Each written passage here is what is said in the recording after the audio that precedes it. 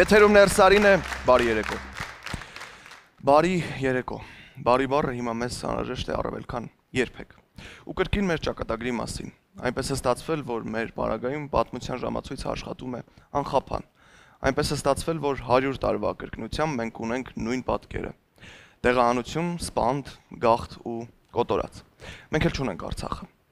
Կանցնի ժամանակ ու մենք կփորձենք այս մեծ ողբերգությունը գրականության վերածել։ Այնինչ ունեինք 100-ից ավել տարի անցյալի գրականությունն ուսումնասիրելու ու պատմության դասերը սովորելու համար։ Մեզ սովորեցրել են ապրել հարգելով ծնողներին ու օրենքները, սիրել հայրենիքը, իմանալ պատմությունը։ Արցախում մարդիկ հենց այսպես էլ ապրում էին։ Լեզուս չել պատտվում անցյալով խոսել, բայց այդպես է։ Պարզվում է, որ վերջն այսպեսին է։ Մեր տրամադրությունը ուղղորդված է մեր մտքերից։ Մեր մտքերը կպչուն են ու ոչ ամենևին դրական։ Մեր զրույցը փորձ պիտի լինի ուժեղ լինելու, որ կարողանանք օգտակար լինել այն մարդկանց, ում արժև մեղավոր ենք։ Շնորհակալություն Ռութլայնին եւ ընկերներին, որ կրկին ինձ հետ ներսում են. Իմ գործընկեր Ստեփան Աբ รา համյանին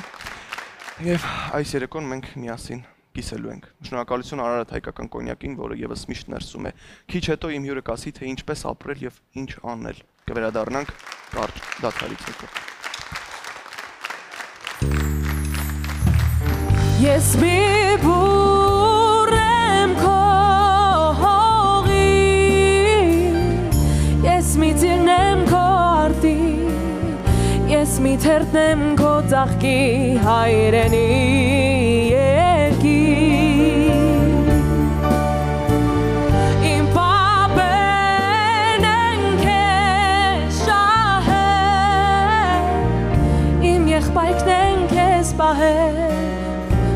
է որդիկն իմ ջահել հայրենի երկիր Հայաստան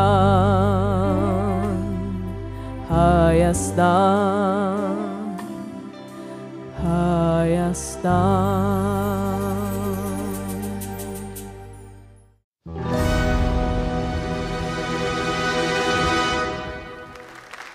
Մենք եթերում ենք շնորհակալություն Արարատ հայկական կոնյակին, որը միշտ ներսում է։ Իսկ հիմա դիմավորեք տաղանդավոր դերասան, գեղեցիկ կին եւ իսկական հայ Մարջան Ավետիսյան։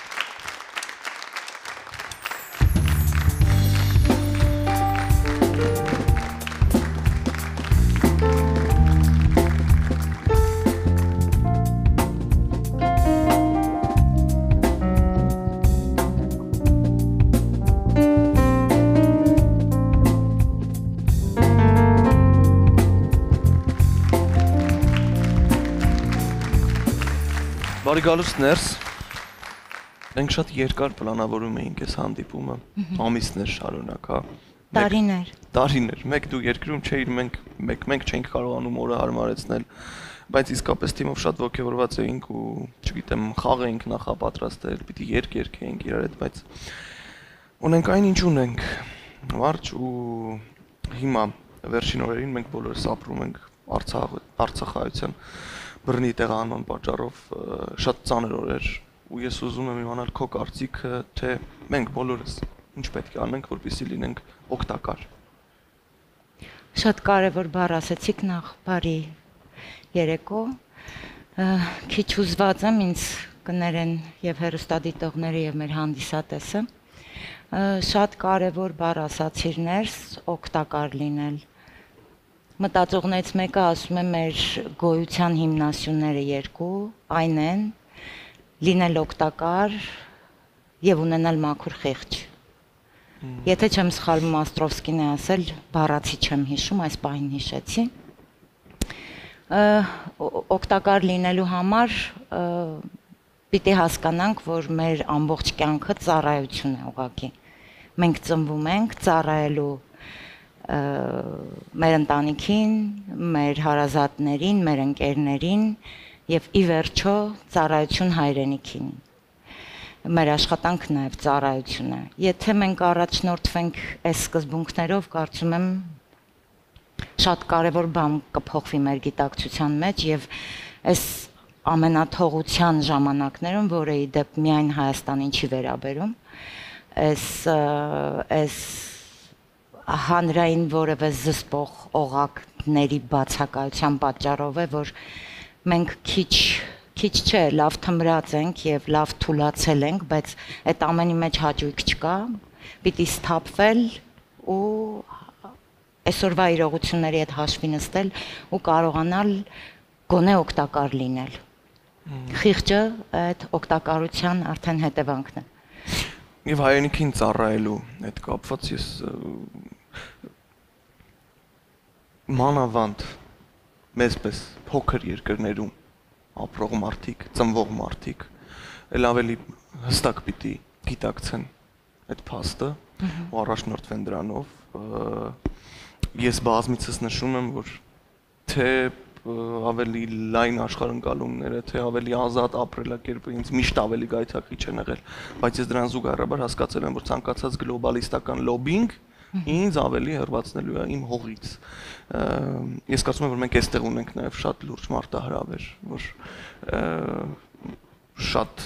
երիտասարդներ հենց հիմա թեկուզ Երևանում վստահաբար նաև ինձ էլ գրում են Instagram-ում, որ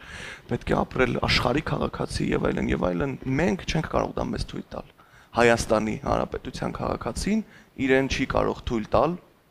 լինել աշխարհի քաղաքացի մենք ամեն օրվա մարտահրավերների առաջ ենք կանգնած, որտեղ մենք գոյաբանության խնդրի առաջ ենք արդեն։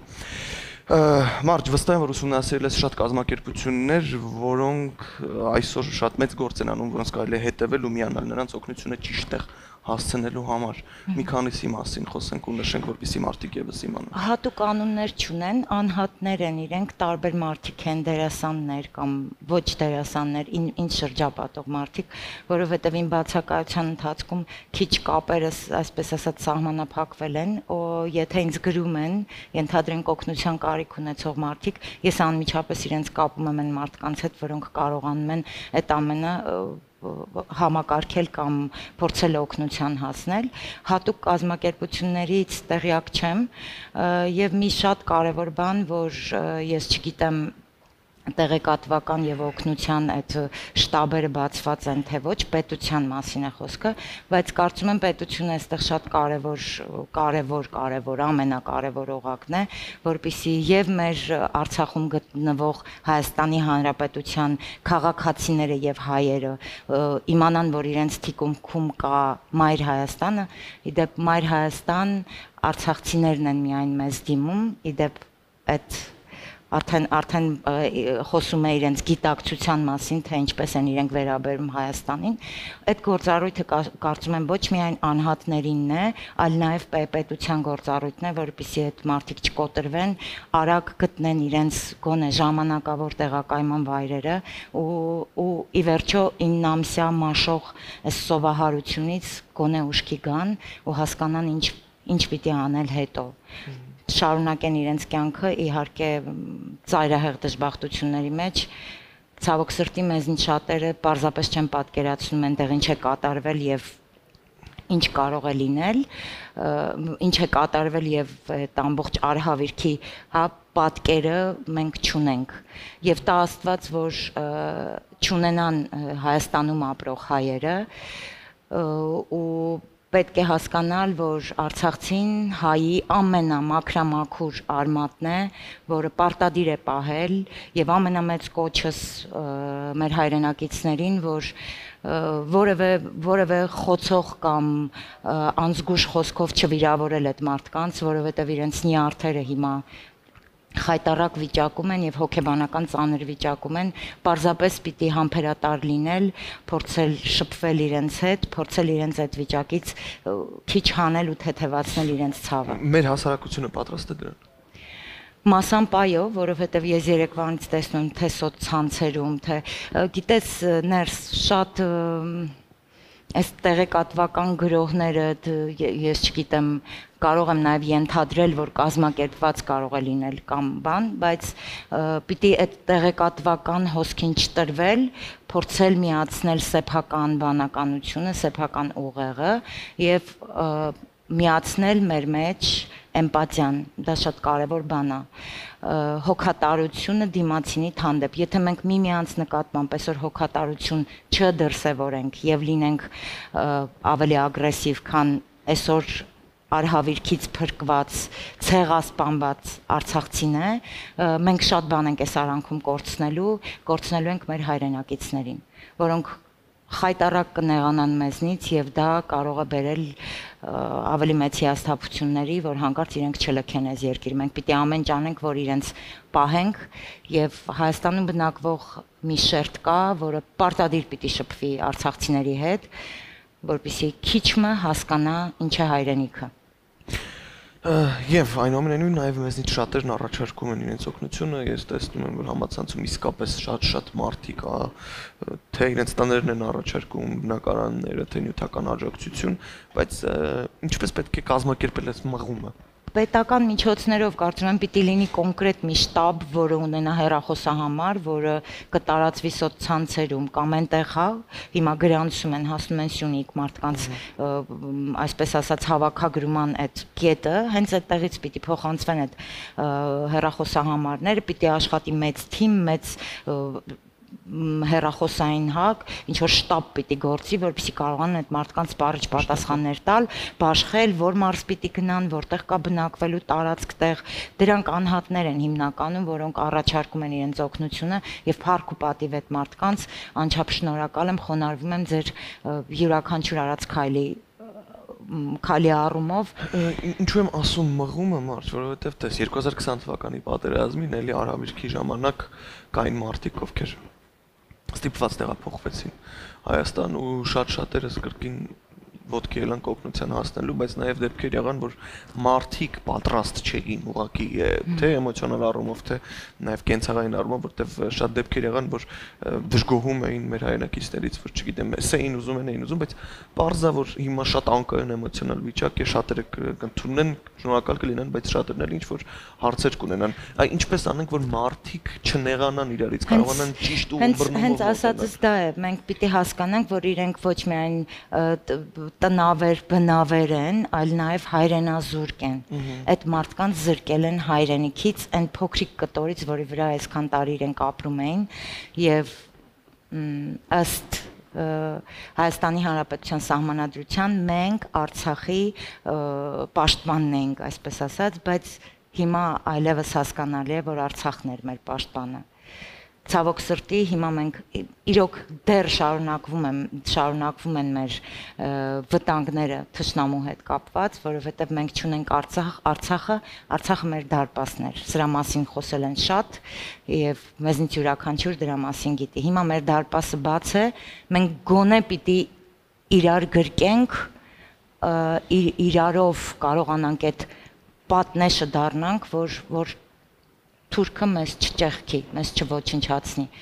Հակառակ դեպքում մենք մենք կկորցնենք ամեն ինչ։ Եվ իրար, եւ մեր մնացած հայրենիքը։ Ու այս տևական քաոսի մեջ մենք բոլորս փորձել ենք դառնալ փոքրիկ լրատվականներ, որտեղ կհուշեն մարդկանց ինչ որ կարիքների մասին եւ այլն եւ այլն, բայց նաեւ քաոսն էլ ավելի խիտ է դառնում նաեւ նրանով, որ տեղեկատվական հոսքը անկառավարելի է։ Ինչ որ կան կոնկրետ փոքրիկ նյուանսներ, հմտություններ, որ կարելի է գոնե որևէ կերպ տարբերակել, հա, այս ինֆորմացիան արդյոք պիտանի է թե ոչ։ Ա ինֆորմացիոն ինֆորմացիան ֆիլտրելու հնարավորություն չունի սովորական մարդը, ես էլ դու էլ չունենք այդ հնարավորությունը, ծայրահեղ դեպքում կարող ենք, չգիտեմ, ծանոթներին գտնել, փորձել իրենցից հարցնել, բայց դրա համար մասնագետներ կան ու ես ավելի քան վստահ եմ, որ մեր պետությունը այդ մասնագետները ունի ու իրենք լուրջ պիտի գործանեն, որովհետև ամեն մեկս չենք կարող իրոք լինել լուր հայտնող ու լուր արտահանող, իր իրավունքը դրա չկա, պիտի պարտադիր մի քիչ ֆիլտրել, հետո նոր հրաապարակել։ Ես ուզում եմ բոլոր զերծ մնանք հրաապարակային իրար հայհոյելուց, հրաապարակային իրար ինչ որ բաներում մեղադրելուց, որովհետև մենք մենք շատ երկար ժամանակ դրա մեջ ենք եղել, սա դարձել է մեր կենսակերպը, առավոտյան արթնանալ, սա է մեղավոր, նա է մեղավոր, անիծել, հայհոյել ու չգիտեմ ինչ, ուզում եմ ես ինքս էլ անմասն չեմ մնում, ես շատ տենց մաքրամաքուր կերպար չեմ այդ առումով, բայց աշխատում եմ ինձ զսպել,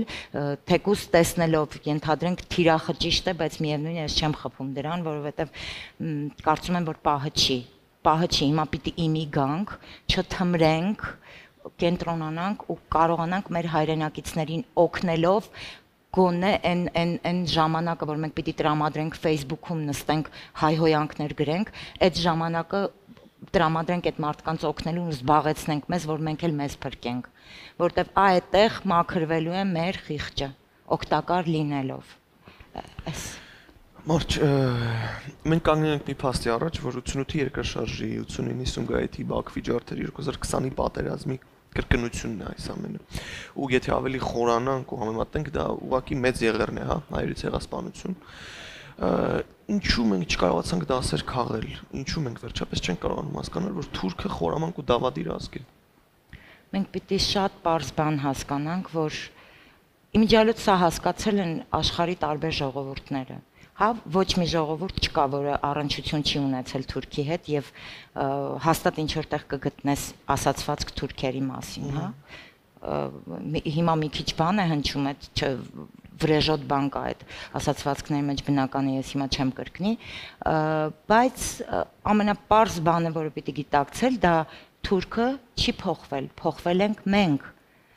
ինչի արդյունքում երկար խոսելու թեմա է Մարջ, հիմա ուզում եմ հասկանալ այս իրավիճակում, հա, ինչպես պետք է իրեն պահի մտավորականը կամ հանրային մարդը, մեդիա դեմք։ Գիտես, հանրային մարդն էլ էլի այս արդեն terror-ի վերածված էս հարցակումների գերին է, ես երբեմն բորբոքվում եմ ինքս ինչ որ բաներ եմ գրում Facebook-ում, որպեսզի կարողանամ արթնացնել իմ գոլեգաներին։ Ես չեմ մտածում, որ ես մտավորական եմ, որովհետև ինձ համար մտավորականը չգիտեմ, շատ-շատ բարձր, բարձր, բարձր կոչում է ու ինքը ոչ մասնագիտություն է, ոչ բան։ Մարդը իր ապրած տարիների ընթացքում կൂട്ടակած գիտելիքով, հանրային իր հանրային մատու, հանրության մատուցած իր ծառայություններով է արժանանում այդ կոչմանը։ Բնականաբար ես երբևէ չեմ կարող այսպես ասել հավա, ասած հավակնել այդ կոչմանը, բայց կան մարդիկ, որոնք այո պիտի իրենց խոսքը ասեն բայց մենք ապրում ենք TikTok-ի ու Instagram-ի ու Facebook-ի դարում մեր հանրության մեծ մաս չի ճանաչում մեր մտավորականներին, որոնք իրենց անհոգ գոռոզության մեջ քիչ իրենց մեղքնել կա, լռում են։ Հա հանրային հարթակներում մենք մի մի քանի այդպես սխալ բաներ լսել ենք իրենց կողմից, բայց այդ մարդիկ էլ կոմպլեքսավորված են եւ սահմանափակված են եւ իրենց գոռոզությամբ եւ սահմանափակված են այս տեղեկատվական հոսքերից ու հարցակումներով։ Ու ուստի կամ պիտի կարողանալ էլի էլի միավորվելու համախմբվելու մասին պիտի ասեմ գոնե համախմբվենք հանուն մեր հայրենակիցների հանուն մեր հայրենակիցների։ Էլ հանուն Արցախի ոնց որ թե չունենք։ Ես սա աղետալի տեքստեր եմ ասում, բայց փաստը մնում է փաստ, որ գոնե հանուն մեր հայրենակիցների։ Իրենք շատ ծանր բաներ են տեսել, որոնց տեսանյութերը մենք դեռ չենք տեսել։ Գոնե տեսանյութերով կարողանանք ապրումակցել, բայց չգիտեմ, երբևէ լիարժեք կարողանանք իմանալ լավ ինչ կատարվեց այնտեղ։ Չեմ կարծում որ կարողանանք։ Մարջ, գանք քեզ մի փոքր։ Դու, եթե չեմ սխալվում, ավելի կարճ ժամանակով էիր եկել Երևան, բայց ստացվեց այնպես, որ երկար մնացիր։ Ինչ եղավ։ ծրագրված էր, որ պիտի մայիսին գամ եւ հունիս մաքսիմում հուլիս պիտի մնամ ու պիտի վերադառնամ։ Հետո երկարաձգվեց առողջական խնդիրների հետ էր կապված։ Երկարաձգվեց, հետո սկսվեցին այս դեպքերը բնականաբար մի փոքրիկ այսպես սերիալի պայմանավորվածություն էլ ունեի, որը եւս հետաձգվեց ու այսպես հետաձգվում է, չգիտեմ ինչու, ես մտածում եմ, որ այսպիսի պահերին շատ շատ կարևոր է այստեղ լինելու։ Ես չեմ կարող հասկանալով, որ գուցե այն ինչ որ հենց հիմա անում եմ այն գործը, գուցե չցուցադրվի, ես չգիտեմ, մի ամիս հետո մենք ինչ վիճակում կլինենք, բայց ես այսպես ասենց կայուն ծանր վիճակում փորձում եմ դեռ մնալ այստեղ միևնույն ժամանակ գիտակցելով որ այսպես ընտանիքս բաժանված է երկու մասի, հա, բայց փառք ու պատիվ ամուսնուս, որ կարողանում է հասկանալ ինձ, որ այս պահին ուղակի չեմ կարող։ Ոչ միայն ես էստեղ հարազատներ ունեմ, ծնողներ ունեմ, ես էստեղ ունեմ հա, հայրենիք, ունեմ հայրենակիցներ, որոնց մի մասին քիչ առաջ ցեղասպանել են։ Ես չեմ կարող Սա հայրենասիրություն չի, սա կարծում եմ հայ մարդու բնական վիճակն է, որ այսպես չեմ կարող։ Ես պատերազմի ժամանակ եմ ունեցել հնարավորություն ուղակի մեկնելու երկրից, որի ընթացքում խելագարվում էի, բայց ու առաջին մարդը, որ ասաց մենք չենք կարող, իմ ամուսինն էր, որը երբևէ Հայաստանում չէր ապրել, առաջին երկարատև, այսպես ասած, համատեղ կյանքն էր մեր հայրենիքում ու ինքը ասաց ես չեմ կարող հիմա տոմս գնել, որովհետև սա ազնիվ չի լինի։ Ես ինքս իմ խղճի առաջ չեմ կարող ինքս ինձ ներել ուղակի։ Մենք շատ երկար հետո մնացինք պատերազմից հետո։ Ես մի շատ ուրախ եմ քեզ տեսնել Երևանի փողոցներում, պատահաբար, պայմանավորված, միշտ միշտ միշտ շատ սիրում եմ քեզ ու խոստացիր, որ մենք կրկին կհանդիպենք, կխոսենք, կխաղանք ու կերքենք ներսում։ Հաջորդ անգամ հուսամ կերքենք ու ես էլ քեզ եմ շատ սիրում։ Շնորհակալ եմ քեզ, որ ներսում էիր։ Շնորհակալություն, որ դու այսպեսինն ես ու կաս մեր կյանքում։ Փորձում եմ լինել իսկական ու ուրիշ կերպ չեմ կարողանում ապրել։ Այս ես եմ։ Դու իսկական ես ու հողին կպած։ Ինչի համար քեզ էլի շնորհակալություն։ Իսկ մենք կշարունակենք ներսարին շատ կարճ դաթարից հետո մնացեք մեզ հետ։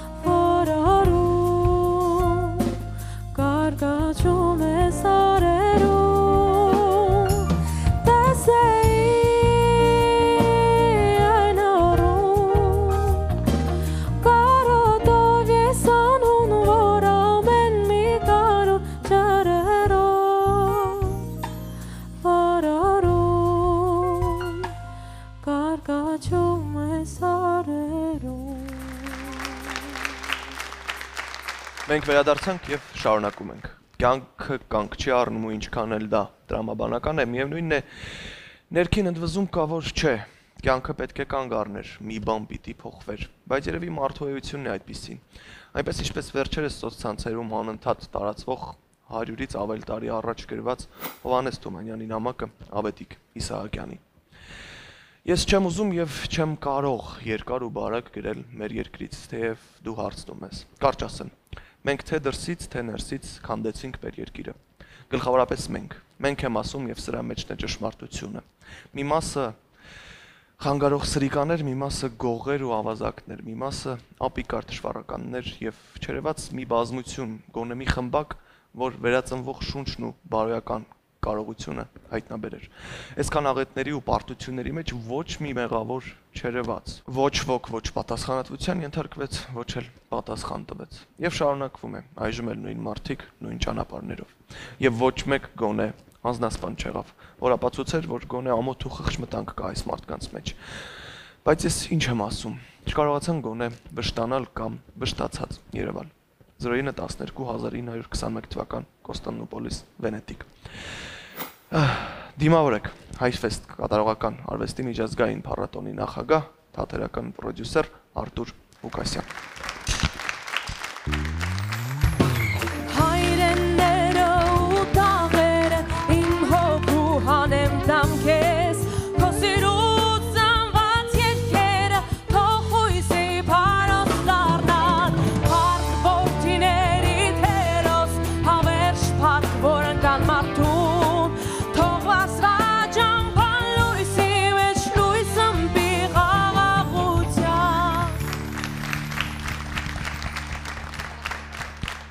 Բարի երեկո, պարոն Ղուկասյան։ Բարև ձեզ։ Շնորհակալություն, որ ներսում եք։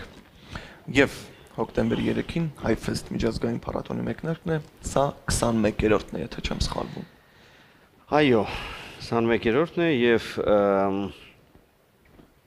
մեկնարկում է ը, ասի ա- ամսի 3-ին մեզ մոտ կլինի public talk Ավինյոնի փառատոն նախագահի հետ եւ մենք կսկսենք այսինքն կրթական ծրագիրը քանի որ Highfest-ը պետք է կայանար 2-ից 8 հոկտեմբերի եւ զորակույն ծրագիր ունեինք որտեղ կային չգիտեմ համաշխարհային աստղեր եւ տարբեր ժանրերի ներկայացումներ եւ այլն եւ հասկանալի է որ մենք իրավիճակից ելնելով մենք հասկացանք, որ պետք է կրճատել ծրագիրը եւ անել այն կարևորը, որ լինի ըմ, կրթական մասը եւ շատ փոքր արտասահմանյան ծրագիր, փոքր միայն չափերով, այլ ոչ թե տաղանդով կամ, չգիտեմ, երանդով կամ նշանակությամբ։ Այո, շնորհակալություն։ Շնորհակալություն, Ստեփան։ Շնորհակալություն։ Ահ։ Ամ եւ եւ այո ամսի 3-ին, ամսի 4-ին մեզ մոտ արդեն կլինեն ներկայացումներ, ամսի 3-ին կլինեն հայկական ներկայացումներ, հայկական ծրագիրը կլինի եւ հյուրեր կկիսվեն իրենց փորձով եւ կհանդիպեն մեր գործընկերների հետ եւ երիտասարդ ռեժիսորների, դրամատուրգների, դերասանների եւ այլն եւ միասին մենք մտածենք մի ծրագրի մասին, որ, որի մասին դեռ մտածել ենք Ավինյոնում, երբ որ ես եղել եմ հուլիսին այնտեղ, հանդիպել էի տնորենին, հրավիրեցի տնորենին Հայֆեստի եւ ինք ասեց, որ ես կլինեմ Հայաստանում, որովհետեւ ես թարգմանեմ, ես կիսում եմ ձեզ հետ այն ամեն ինչ կատարվում է եւ ես կլինեմ անպայման ես չեմ վախենում ոչ մի բաներից շատ ա, գնահատել է դա եւ պատվիրակությունը Ավինյոնից կլինի այսինքն խոսքը գնում է աշխարհի լավագույն փառատոններից երկու փառատոններից մեկի մասին Ամենա կարկառուն Ամենակարևորը։ դեպքերից մեկի մասին։ այո Պարոն Ղուկասյան, ես նաև ուզում եմ նշել, որ Highfest թատերական փառատոնը լավագույններից մեկն է համարվում միջազգային թատերական շրջանակներում եւ շնորհիվ ը, Երևանը մի քանի օր գոնե դառնում է աշխարհի թատերական կենտրոն, հա։ Ու ցավոք մեր իրականությունը այս տարի փոխեց փառատոնի ծրագիրը։ Կուզեմ մի քիչ ավելի մանրամասն ներկայացնեք ինչ էր նախատեսված եւ ինչ ունենք այսօր։ Ուրեմն մենք պետք է ունենայինք բացումը պետք է լիներ Հայֆեստի ներկայացումով դա եվրոպական համատեղ ներկայացումն է տարբեր երկրների միայնակություն բանվակյա դաշտերում, որի ռեժիսորն է Տիմոֆի Կուլյաբին, ով կլինի Հայֆեստի միջալոց եւ մաստեր կլաս կանի, իսկ գլխավոր դերերում Ջոն Մալկովիչ եւ Ինգեվորգ Դապկուն այդեն պետք է լինեին դա չեղարկվեց, հետո մեզ մոտ պետք է լիներ Մոսկվայի ազգերի թատրոնը, Տեխցանիկը ներկայացումը, որտեղ գլխավոր դերում Սացի Սպիվակովան է։ Այդ ներկայացումը չեղավ, չեղ- չեղավ ներկա շատ շատ հեղինակավոր ժամանակակից բարի փառատոն կոնտեքստ Ռուսաստանից, որը հիմնել եւ ղեկավարում Ադիանա Վիշնյովան, համաշխարհային բալերինան, համաշխարհային մակարդակի հեղինակավոր բալերինա, ինքը պետք է ներկայացներ 3 ներկայացում։ Դա պետք է արվեր, պետք է լիներ շրջափակում, օկուպացիան ը, ներկայացումը Ֆրանսիայից ըստ Անի Էրնոյի ով Նոբելյան մրցանակակին է 2022 թվականի ըստ իր վեպի հիման վրա գլխավոր դերում Ռոման Բորինժեն Ֆրանսիայի երևի ամենակարգառոն դերասաններից մեկը դա էլ չեղավ բայց բայց մեզ մոտ եւ չի լինելու բացօթյա ծրագիրը մոտ 12 անուն շատ լավ ներկայացումներ եւ կրկես բացօթյա ժամանակակից հետաքրքիր այն ինչով նաեւ Highfest-ը տարբերում է ի- այդ ծրագրի շնորհիվ մեր High Street փառատոնի, այսինքն որ spin-off-ն է Highfest-ի, դրա շնորհիվ մենք դարձանք համաշխարհային բացօթյա ա, թատրոնների եւ կրկեսի ա, ցանցի անդամ Ցիրկոստրադայի դա դրանով էլ հայտնի, որովհետև դա անտուրաժն է, դա նետակրությունն է, դա քաղաքն է փոխում եւ դա դարձնում է այդ քո ասած հարթակը, հա, այդ ամեն ինչ որտեղ մարդիկ տեսնում են, մարդիկ ովքեր ասում են, ես թատրոն սիրում եմ, բայց sense հազվադեպ եմ գնում։ Օրինակ այդ մարդը կարող գա տեսնի ներկայացում, ասի ինչ լավ բան է եւ բաց երկնքի տակ։ Այո, բաց երկնքի տակ եւ տարբեր տարբեր ժանրերի ներկայացում պատերի վրա, ներկայացում օթում, ներկայացում նկուղում, հա եւ եւ տանիքում եւ այլ եւ այլ այլ այդ ամենը ինչի շնորհիվ հետաքրությունը դեպի, այսպես ասած, արդեն ստացիոնար ներկայացումներ ավելանում է։ Ամբողջ աշխարհում եւ Highfest-ը դրանով չի տարբերում։ Համաձայն եմ քո հետ, որ Highfest-ը դե, եւ եւ կար առաջատար փառատոն եւ շարունակում է, պարզապես մենք գիտես տարբեր ժանրեր, տարբեր տարբեր մոտեցումներ, տարբեր հորիզոնների լայնացում, տարբեր ընկալումների մակարդակ, տարբեր, ոնց ասեմ, մակարդակներ ավելի պրոֆեսիոնալ լինելու հանդիսատեսի եւ ուզենալ դառնալ հանդիսատես, այսինքն դրա նաեւ հայֆեստի շնորհիվ։ Իմ կարծիքով հիմնականում հայֆեստի շնորհիվ, բայց նաեւ բնականաբար ուրիշ միջազգային փառատոների շնորհիվ մարդիկ նաեւ ավելի շատ են հաճախում խաղացանկային թատրոններ կամ միգուցե ինչ որ բաներ դրթում է որ ստացվեն լավ ներկայացումներ, որտեղ օրինակ խաղում ես դու չէ եթե հրաչը Կեշյան բացի դրանից որ ինքը տաղանդավոր մարդ է լավ ռեժիսոր չտեսներ հայֆիսի ժամանակ չուսես բան ներկայացում, ինքը ասում միգուցե սենց անենք նաև էլի դա է դա այսինքն երբ որ տաղանդավոր մարդիկ տեսնում են չոր մի բան իրաց չուրբանա լինում եւ դուրս է գալի ապաշտորը նայում ու ասում սղում է, որովհետև չկա էլ այս բաները չկան, էլի։ Դե իհարկե նաև մեծ պատիվ է ինձ համար, որ փառատոնը փաստացի բացվում է մեր ցուրտ օր դժողքում ներկայացմամբ ու փաստորեն մենք այդ օրը Երկի պետական թատրոնում հոկտեմբերի 3-ին սպասելու ենք փառատոնի շատ անվանի հյուրերի։ Եվ հիմա ես ուզում եմ խոսենք Ջո Ստրոմգրենի մասին, ժամանակակից պար եւ թատրոն ու ինչ ներկայացում է ինչ է լինում։ Սիրս, գիտես, Յո Ստրոմգրենը ինքը ինքը գիժամն է լավ իմաստով, այսինքն այդ տեսակի մարդիկ շարժում են երկրագունդը, չէ՞, ասում զմ զմ զմ զմ զմ զմ, այսինքն այդ տարբերակով։ Ինքը ինքը ժամանակակից բարի երևի ամենահայտնի ռեժիսոր խորեոգրաֆներից մեկն է։ Այսինքն այն ինչ մենք սիրում ենք ոչ դրամատիկ, այսինքն դրամատիկական թատրոնից դուրս այն ամեն մենք սիրում ենք հենց թատրոնը օպերայում մենք շիրում ենք թատրոն, որ ներկայացում լինի, լինի կոնֆլիկտ, լինի հարաբերություններ հերոսների մեջ եւ այլն։ Այ եթե դա չլինի, պարզապես ասել են մարդիկ, «Էս խեն սաղ երգում»։ Որ լավ էլի։ Կարելի ասել, «Այո, էս ինչ, լավ կոնյակ է, հա, հարարատ, լա լա լա, ինչ բան, ինչու ես դու այդ ասում, ես կար պարզապես ասես, հետո ըմպես, հետո սկսես քո արյան։ Այսինքն այդ ամեն ինչ ինչ կա մյուզիկլում եւ որ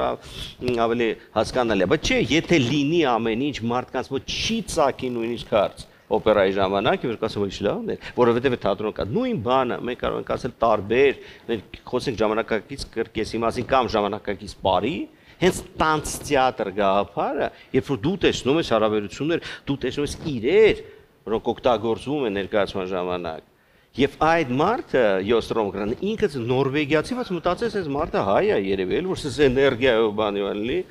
եւ իրենք ասեցին ոչ մենք կգանք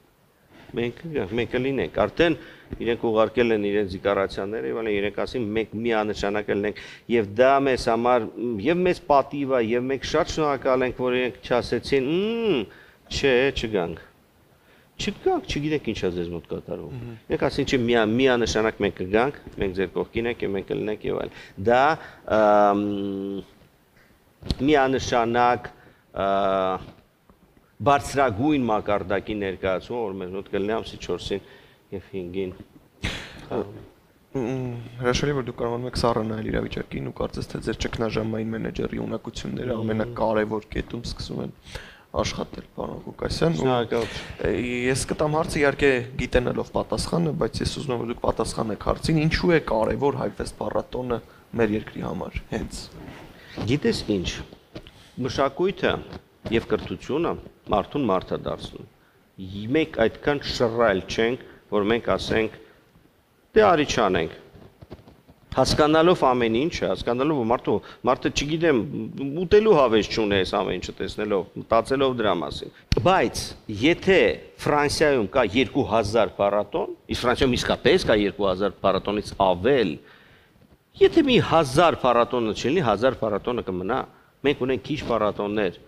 լավ որակի, բայց քիչ են Եվ իմ կարծիքով մենք պետք է անցկացնենք, մենք պետք է կրճատենք, ժամանակը չի որ մենք անենք ինչ-որ ուրախ ներկայացումներ, բայց ամեն դեպքում մենք պետք է անենք դա, մենք մենք պարտավոր ենք դա անել։ Մենք պարտավոր ենք անել, որ մենք չենք Մենք ասում ենք, որ ինչն է կարևորը՝ կրթությունը եւ մշակույթը, եւ մենք շարունակում ենք կրթել։ Մենք շարունակում ենք կրթել եւ մեր գործընկերներին, եւ երիտասարդ ռեժիսոր, դերասան եւ այլն հանդիսատեսին, մեր աշխատանքով եւ օրինակ ենք ծառայում։ Իրանք չունենք չանել դա եւ ուզում ենք դա անել։ Մենք ուզում ենք ամեն անել, որ մարդիկ հասկանան, որ այո, արվեստը դա մեզ համար չեմ ասում ինչ որ ցեմենտավորում է այդ ամենը, արվեստը ձևավորում է մարդկանց վերաբերմունքը նաև տարբեր ну ոնց ասեմ, չէ, տարբեր տարբեր բաների նկատմամբ։ Եվ պարոն Ղուկասյան, Արաբելքից Ընդամենը մի շաբաթ առաջ Հայֆեստը ներկայացրեց Սուրտորը դժողքում մոնոդրաման Նովորոսիսկի թաթերական նավահանգիստ միջազգային փառատոնում հիմա ուզում եմ դուք ասեք, հա, նաև արդեն եթերում արդյոք մենք կարողացանք պահել Հայֆեստի պատիվը։ Այո։ Ինձ համար դա մի գուցե ինչ որ մի բանով նաև էքսպերիմենտ երևս ուզում եի տեսնել, թե ինչպես հանդիսատեսը կնկալի ներծեսին որպես ով է դա։ Այսինքն ես համոզված եմ մարդիկ նստածն են այստեղ, էլ չեմ ասում հերոստա ցույցների մոտ, ինչ որ մեկը գիտի որ ով է այստեղ են։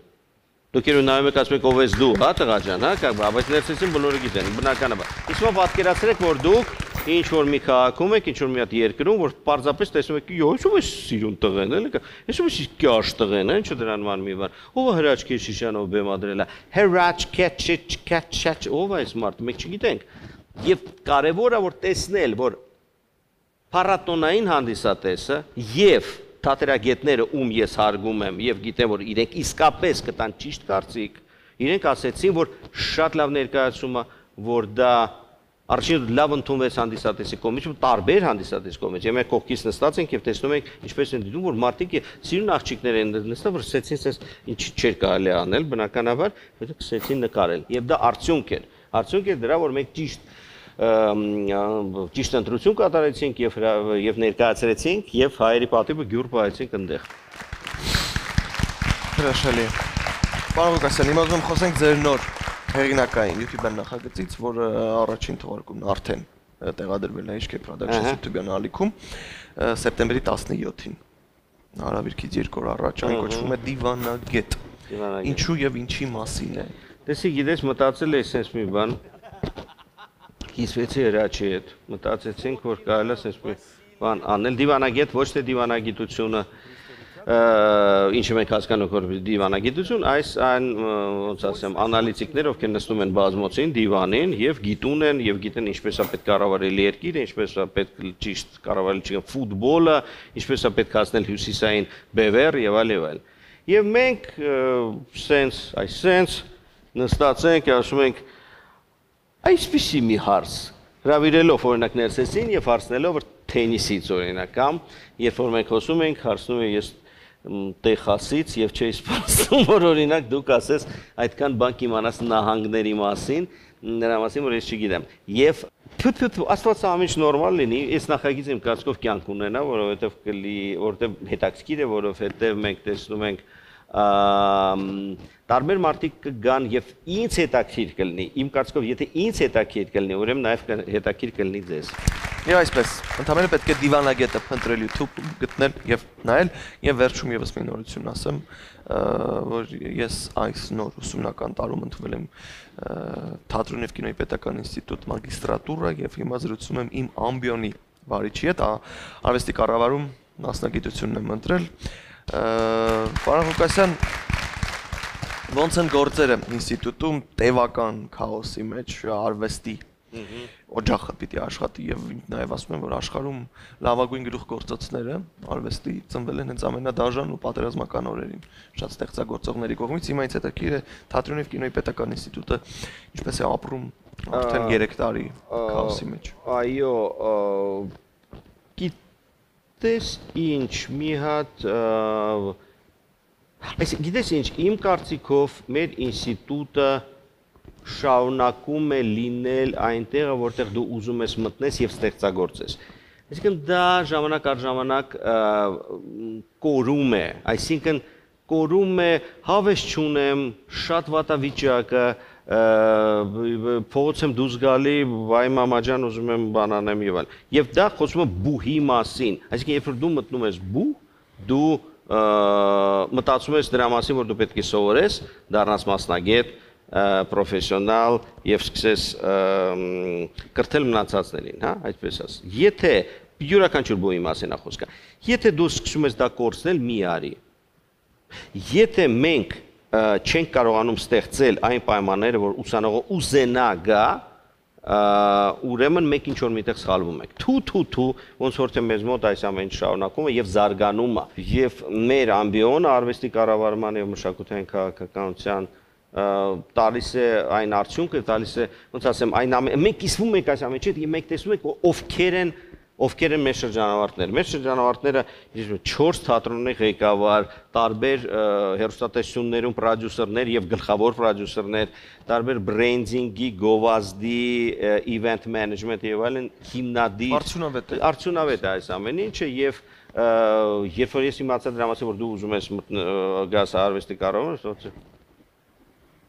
Առանց նորմալ է ամեն ինչ իր մոտ։ Ինչու՞, ինչ է ուզում, ինչ է ուզում անի։ Ուզում եմ ոչ միայն այստեղ ասի բարև ձեզ եւ բանվել դրանց դառնան ինչ բան տնորեն, բայց չէ, այսինքն ամեն դեպքում կարևորը երբ որ մարդիկ ովքեր